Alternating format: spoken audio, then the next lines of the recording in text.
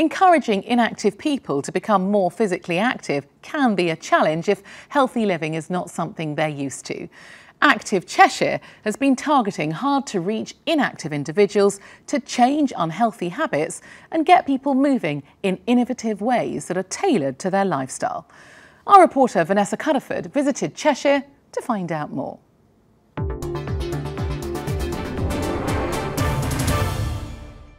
These children at Rossmore Primary School in Ellesmere Port are walking, skipping, or running their daily mile.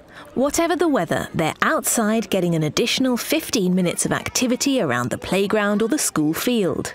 The teachers decide when to take a break from the classroom, and it's become a highlight in the busy school day. The teachers have reported that they come back refreshed, stimulated, ready to carry on learning.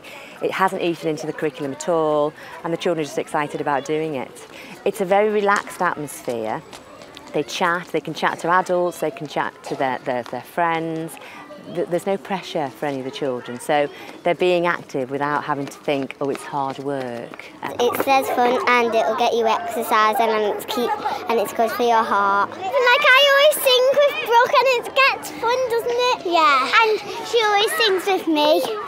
I like doing it because I can run and jog with my friends and I like running around. This pilot scheme is part of Active Cheshire's drive to change people's fundamental habits. Around a third of 10 and 11 year olds in Cheshire and Warrington leave primary school either overweight or obese, which is why Active Cheshire wants to make exercise part of everyday life. Nine year old Ebony Rowlands has seen the benefit of incremental change. She had a stroke a year ago. When she returned to school, she was in a wheelchair. She's been using the Daily Mile to gradually build her stamina. She can now walk the whole thing and has a goal in mind for next year. Fun, full time. Run the whole thing. My goodness me.